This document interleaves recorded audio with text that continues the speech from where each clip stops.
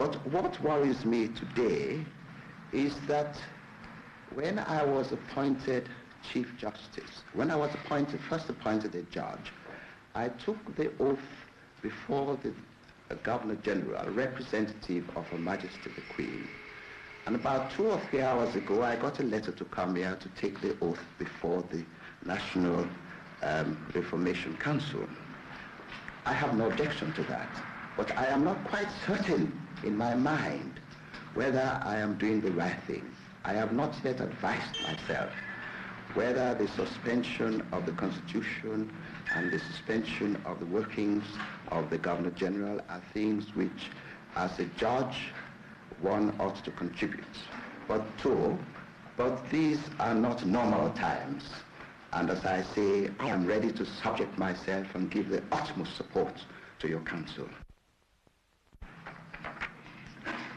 Could you sign down there?